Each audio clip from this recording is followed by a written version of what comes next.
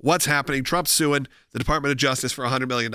That's right. So, attorneys for the president have informed the Department of Justice of his intent to sue for $100 million in punitive damages over the execution of the search warrant at his Mar a Lago estate in 2022.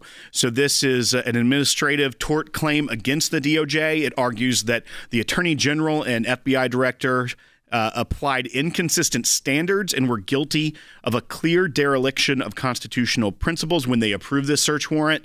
And uh, they are now, the DOJ has 180 days to respond to try and settle this before going forward. If they are unable to, reach some sort of agreement, then it will go to federal court in the Southern District of Florida, where we will see a lawsuit against the Department of Justice. And I actually wanted to play this bite as well. This was from JD Vance as he was making his rounds on the Sunday shows and and was kind of calling out to that point, uh, as Anne was kind of referencing, about how the media will treat the Trump campaign versus how they're treating Kamala Harris, who has not given an interview to them at this point. But this is bite two, and it's just very interesting. I'll give some commentary after we play it. You've now asked me three questions about comments that I made three years ago. Uh-huh.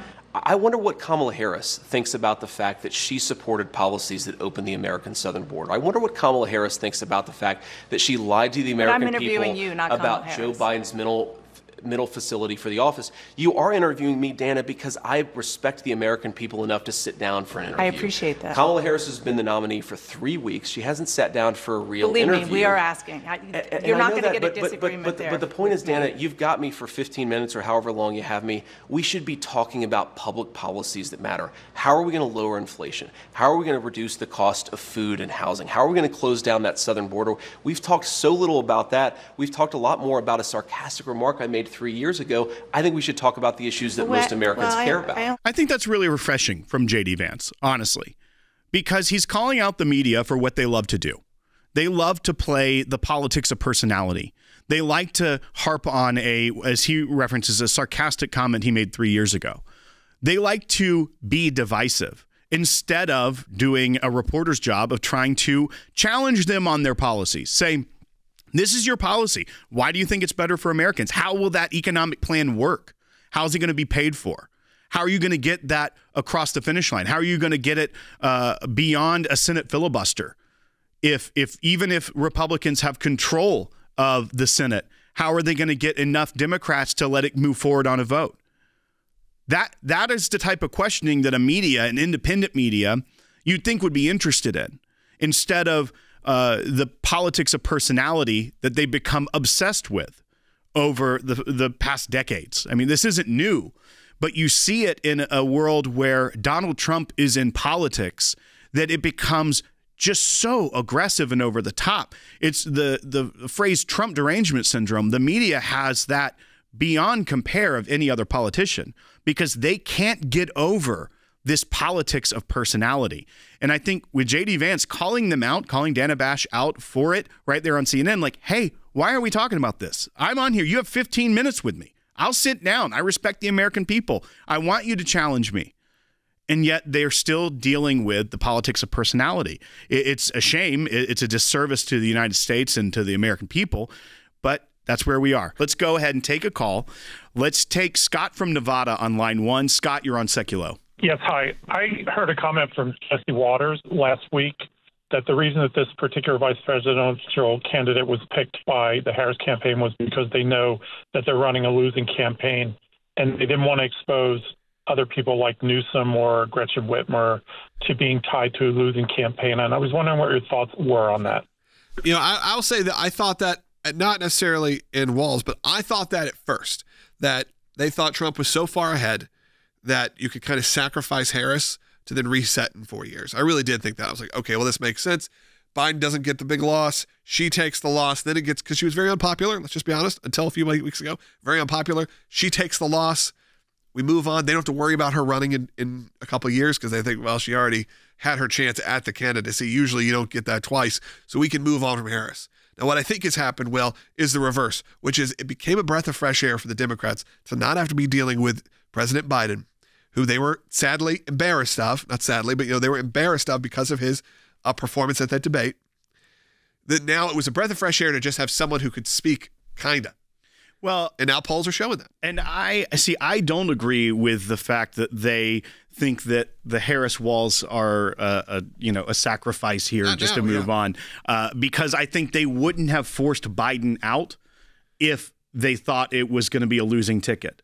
Because then, regardless if Tim Walz had a future in presidential politics, the amount of shakeup and shenanigans that they pulled to make this happen, even Biden talking in interviews now about how it was the party bigwigs that pushed him out, they would not have done that if they still thought they were going to lose. They would let that lose and move on. Yeah, no, I think that right now we're having a situation where they very much think that there's a pathway to victory. And look, there may be. Why I can't be, you know, ignorant to this. We got to be paying attention. We got to be clear-headed. We got to be talking about policy, talking about facts. Get away from the personal attacks. They are losing a lot of voters for you when you attack Harris over things that are goofy, silly, comedy. And I feel that way, by the way, about the others. Quit calling people weird. Start pushing to fake, you know, reports. I'm sick of from both of them. There are clear policies from the Harris campaign and clear policies from the Trump campaign. Pick the one you want from that. But that's not how it's going to be. We're going to go to Randy calling from Ohio on line one. Randy, you're on Sekulow. Hey, thanks for taking my call. I'm not big on the national polls because if she was so close in the national polls, they wouldn't be fighting so hard to rebrand her. You know, it's a very good point, Randy. Also, one thing people have to remember is that while the a national poll can be a barometer, that's not how you win an election. Where really it comes down to the electoral college and how you're playing in key swing states. Because if if a national survey is is heavy on Democrat areas and you look at those analytics and and where they were polling, it it could tell you a very different picture of what the United States is looking at. But I, I do understand that it is going to be a close race. Eh, presidential politics is very close, and no matter what year you're looking at these days. We're a very divided, partisan country at this point. So I understand your point, but at the same time, it's really going to be those swing states and, and who can pull off the win in, in Pennsylvania, Michigan, Arizona, states like that. I did want to take a minute because we are just about halfway through. We're, we're August 12th of this year, and I want to take a minute to tell you about the ACLJ's Life and Liberty Drive for August. Look, it has been a remarkable time. We knew July was going to be tough. August is tough. We know that. We see the rise of all sorts of costs. We know it's not easy right now, but we are involved in so many important things. There is one that come this Wednesday we're going to be able to start talking about. And I'm so excited about this one because these are when sometimes there are, and you know, we have to wait. You know, it's not like I can tell you right now because a lot of what we're dealing with is uh, the law. We're dealing with lawsuits that are being filed and all that. You don't want to show your cards all at one time. But hopefully by Wednesday, we're going to be able to start talking about this. A, a, a case and a moment that happened to me firsthand just by living in this world that we live in. I encountered something, and when I encountered it, I felt like the ACLJ had to get involved. And we're going to get involved legally and spiritually and for the heart of the nation. We're going to do that.